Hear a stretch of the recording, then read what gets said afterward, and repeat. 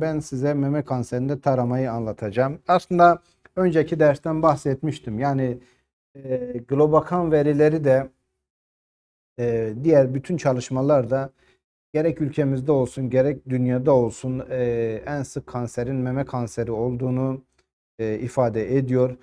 Mortalite tabii ki hem e, tarama yöntemlerinin e, gelişmesiyle beraber hem de etkin tedavi modalitelerinin olmasıyla beraber günümüzde mortalite e, azalmaya başladı. Özellikle son 30 yıldır. E, burada da taramanın e, önemi ve artan farkındalık önemli diye düşünüyorum.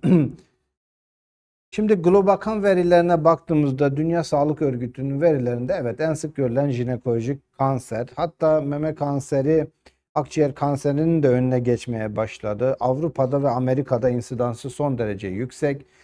Bu Sahra altı Afrikalı ülkelerinde insidans e, düşük ama bunlarda da mortalite oranlarının yüksek olduğunu söylemek lazım. Meme kanseri taramasıyla tabi görülme sıklığı, insidansı biraz artarken mortalite azalmaya başlıyor.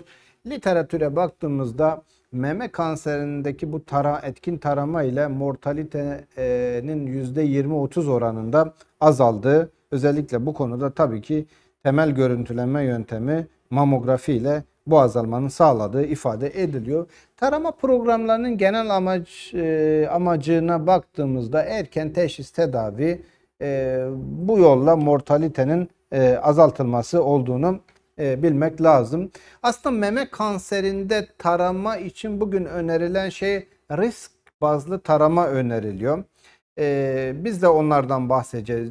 Edeceğiz. Burada taramayı ne ile yapalım? Yöntemi ne olmalı? Tarama yaşı ne olmalı ve tarama sıklığı ne olmalı? Biraz ondan konuşacağız.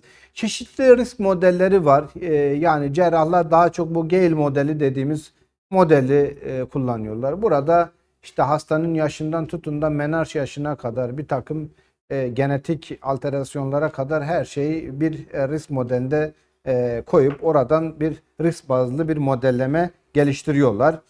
E, düşük risk grubuna baktığımızda bu kimdir düşük risk grubu? Bakın bilinen hiçbir risk faktörünün e, olmaması. Burada düşük riskli grup dediğimiz grup kadın olmak. Zaten meme kanserinin kadınlarda kümülatif gelişme oranı %12.4'tür. Bu grup bizim için aslında tarama için önemli olan e, grup bu. Ömür boyu meme kanseri gelişme riski bunlarda %15'in altındadır.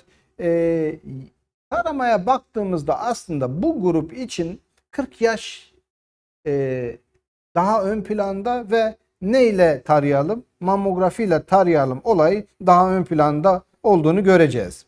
Bakın düşük riskli grup için birinci tarama yöntemi mamografidir. Duyarlılığı %90'ları bulabiliyor ve yaşla mamografinin duyarlılığı artıyor. Şunu da unutmamak lazım. Yani meme kanseri olgularının %20'sinin de mamografi ile atlanabileceğini unutmamak lazım.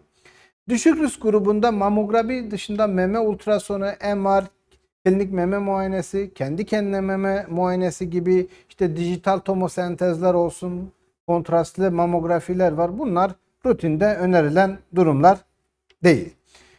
Dünya Sağlık Örgütü'nün hemen araya girersek e, bir önerisi var. Özellikle bu görüntüleme yöntemlerine ulaşılamayan yerlerde sağlık hizmetlerinin güç olduğu fakir ülkeler için e, buradaki kadınlar için özellikle 50-70 yaş arasında böyle e, hani artık kendi başınızın çaresine bakın der gibi kendi memenizi kendiniz muayene edin veya birini bulursanız bir de hekim bulursanız klinik meme muayenesini öneriyor. E, dediğim gibi sağlık hizmetlerine erişimin neredeyse imkansız olduğu e, sosyal gruplar, ülkeler için. Orta risk grubunda tarama nasıl olmalı? Bu orta risk grubu dediğimizde de birinci derece bir akrabasında meme kanseri öyküsü varsa orta riske giriyor bu. Bunlarda meme kanseri gelişme riski %15-20'dir. Burada herhangi bir e, genetik sendrom bulunmamaktadır. Burada da e, ana aslında e, tarama yöntemi mamografi. Burada da MR çok fazla bu grup için önerilen tarama e, modalitesi değil. Bakın Amerikan Kanser Derneği'nin e, bu grup için şeyi daha çok böyle hani 45'li yaşlardan sonra yıllık 2 yıllık mamografilerle tarayın diyor bunu. Opsiyon olarak da 40 yaşı da kabul edilebilir. 40 yaşında da başlayabilirsiniz diyor. Şimdi yüksek riskli gruba baktığımızda bunlar kim? BRCA1-2 yani ailevi meme over kanser riski varsa, P53 varsa ve diğer duyarlılık genleri varsa, prekanseröz lezyon varsa, işte atipik e, lobiler ve duktal hiperplazi varsa, meme kanseri öyküsü varsa, göğüs radyasyonuna maruz kalmışsa bunlarda meme kanseri gelişme riski %20'lerin üzerindedir. Bunlar yüksek riskli grup grup diyoruz bunlara.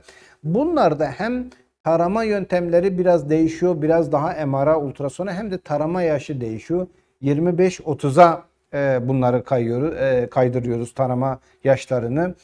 Daha önce e, böyle kuvvetli bir meme kanseri öyküsü varsa bakın e, 25 ve 30 yaşında taramaya başlanabilir diyor. Özellikle mamografi 30 yaş ve üstünde öneriliyor. 25 yaşından itibaren de MR ultrason yapılabilir. Bir de bunun için 6-12 ayda bir klinik meme muayenesi öneriliyor.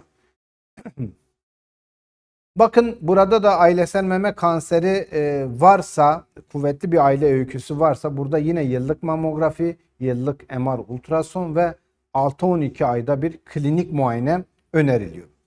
Bilinen genetik meme kanseri yatkınlığı varsa, BRCA'lar varsa burada da tarama yaşı, yaşı yine 25-30 yaş arası olabilir. Yıllık mamografi, yıllık MR ultrason 6 ayda bir e, klinik meme muayenesi ve aylık kendi kendine meme muayenesi bunlardan öneriliyor. Radyasyon öyküsü varsa yine yıllık mamografiler, MR'lar ve klinik meme muayenesini de 6 ayda 6-12 ayda bir yapılabilir diyor. Yine tarama yaşları 25-30 olabilir. Özel durumlara baktığımızda dens memenin de meme kanseri için bir risk faktörü olduğunu bilmek lazım. Burada özellikle mamografi biraz yetersiz kalıyor bunun değerlendirilmesinde. Meme ultrasonu ve e, gerekirse meme MR'i biraz daha ön planda ön plana çıkabiliyor.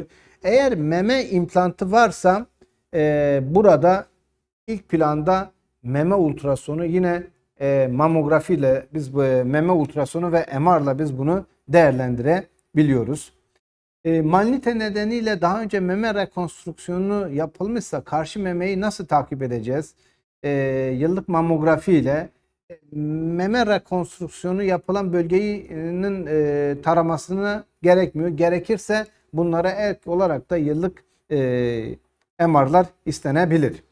Şimdi meme kanserinin taraması ile ilgili global sağlık örgütlerinin önerileri bizim Sağlık Bakanlığı'nın önerilerine geleceğiz bakalım. Burada bir meta analiz var. Böyle 23 uluslararası kılavuzu referans alan.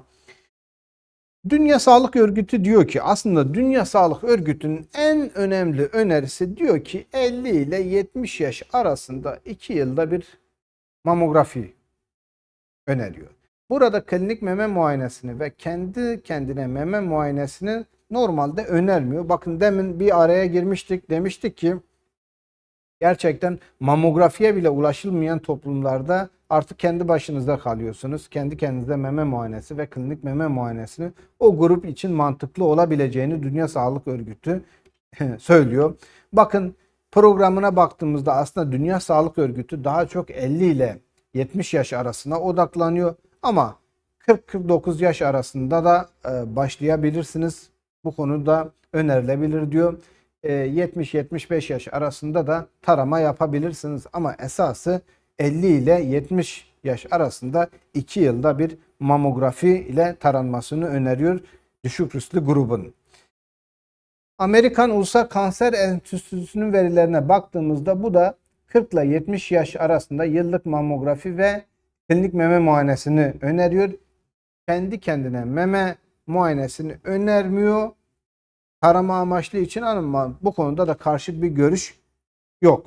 Amerikan Kanser Derneği verilerine baktığımızda burada da yine işte 40'lı yaşlar aslında bu 45 yaşından itibaren başlanılmasını daha ön planda tutuyor ama 40 yaşında da başlanabilir.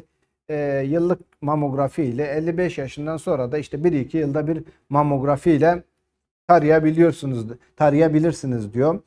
Ee, kendi kendine meme muayenesini ve klinik meme muayenesini önermiyor. Kanada Kanser Derneği'ne baktığımızda yine benzer şeyleri görüyorsunuz. 40 ile 74 yaş arasında 2 yılda bir mamografi yap diyor. Ee, kendi kendine meme muayenesini bu da önermiyor. AKOK'a baktığımızda AKOK şunu diyor. 40-49 yaş arasında 1-2 yılda bir tercihen 2 yılda bir isteyebilirsiniz mamografiyi. 50 yaşından sonra e, yine 1-2 yılda bir mamografi ve klinik meme muayenesini öneriyor. Özellikle 25 e, 39 yaş arasında 3 yılda bir öneriyor bu klinik meme muayenesini. 40 yaşın üzerinde ise yıllık e, klinik meme muayenesini öneriyor.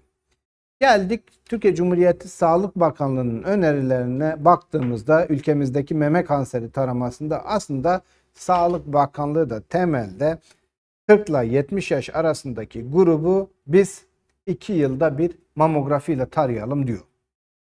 Ondan sonra ayda bir kendi kendine meme muayenesini öneriyor.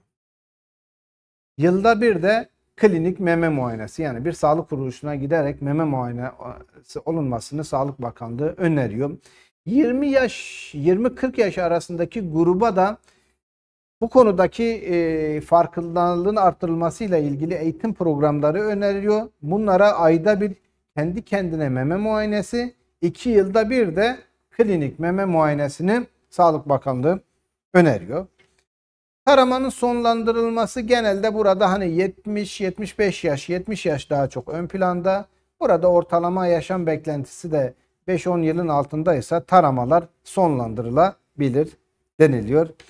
Sabrınız için çok teşekkür ediyorum.